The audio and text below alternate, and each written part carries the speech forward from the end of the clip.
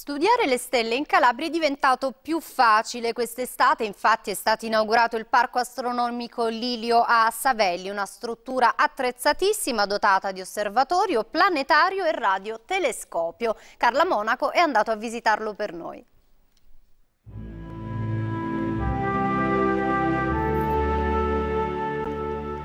A Savelli le stelle sono più vicine. Qui a 1170 metri dal mare, nei boschi ai confini dell'altopiano della Sila, è nato il primo parco astronomico della Calabria. Si chiama Lilio, come il famoso astronomo di Cirò Marina del 1500.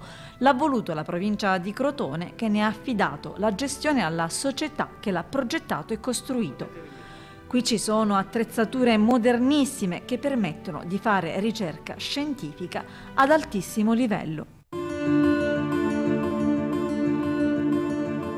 L'osservatorio, protetto da una cupola d'argento che si apre e si chiude custodisce il telescopio principale, un tubo ottico potentissimo che può essere usato anche a distanza attraverso internet. C'è anche il radiotelescopio per ascoltare il rumore dell'universo, una grande parabola che permette di sfruttare le onde radio per studiare i fenomeni celesti.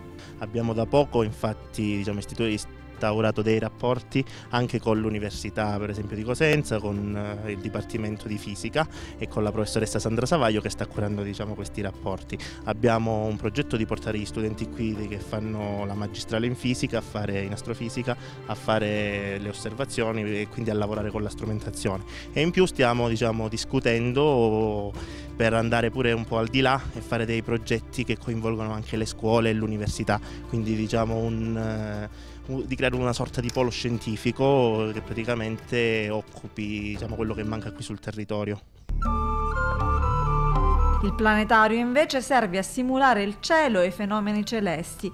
E poi ci sono spazi per i laboratori didattici rivolti ai più piccini non solo loro possono costruire il sistema solare, ma anche possono costruire l'astrolabio, che è uno strumento utilissimo per eh, poter capire quale costellazioni ci sono in una determinata ora, in un determinato giorno, in un determinato mese. Quindi poi i bambini magari si ritrovano sul balcone di casa e insieme all'astrolabio capiscono che cosa vedono su, sulla loro testa e imparano così sempre giocando, perché si sa, i bambini devono imparare giocando. Le iniziative sono tante, proprio oggi parte un corso di formazione per adulti e a settembre ci sarà un appuntamento importantissimo. È stata scelta questa come sede del prossimo congresso nazionale del gruppo Astronomi Digitali e dell'Unione Astrofili Italiani per poter praticamente ricevere qui un sacco di ricercatori che si occupano di comete, asteroidi e verrà fatto appunto per la prima volta al sud Italia.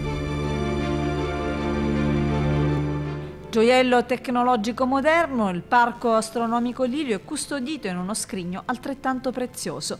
Savelli, un piccolo paese di montagna che presto potrebbe ottenere la bandiera arancione dei borghi più belli d'Italia. Per noi l'osservatorio è il volano, per noi l'osservatorio è qualcosa che ci può fare eh, dare sostegno sia economico ma anche turistico e tutto il resto. Noi ci crediamo e quindi automaticamente tutte le nostre energie sono collegate a, allo stato dell'osservatorio. Speriamo che vada bene, l'inizio diciamo siamo soddisfatti, dobbiamo impegnarci di più e chiaramente siamo ottimisti.